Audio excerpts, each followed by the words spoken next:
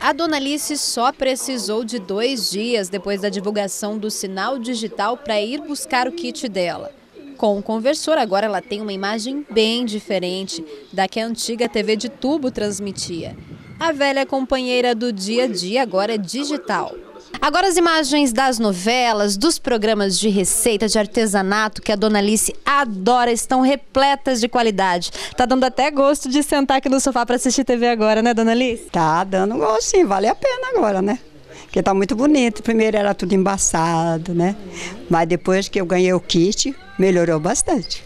E não terminou por aí. A Dona Alice ainda é sortuda foi contemplada no sorteio entre os 127 mil kits que foram distribuídos. A senhora foi uma das contempladas ah. no instalação premiada da Seja Digital. É, que coisa boa, né? É um cartão, um vale compras no valor de dois mil reais. Que a senhora vai poder usar para fazer compras, pagar contas, o que a senhora quiser e, e, e esse dinheiro for útil para a senhora. Que bom, né? Gostei, né? Dona Alice, esse prêmio vem hora.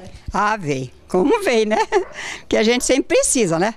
Não pode dizer assim, não, não veio, veio, porque a gente está sempre precisando, né? Aqui eu vou poder comprar alguma coisa, eu tenho certeza, né? Que vai ser bem útil para mim. No último sorteio agora foram três pessoas de Campo Grande que receberam esse prêmio de dois mil reais no valor de um vale compras. O prazo para desligar o sinal analógico foi estendido para o dia 31 de outubro, mas desde o dia 14 de agosto as emissoras já têm autorização para fazer isso.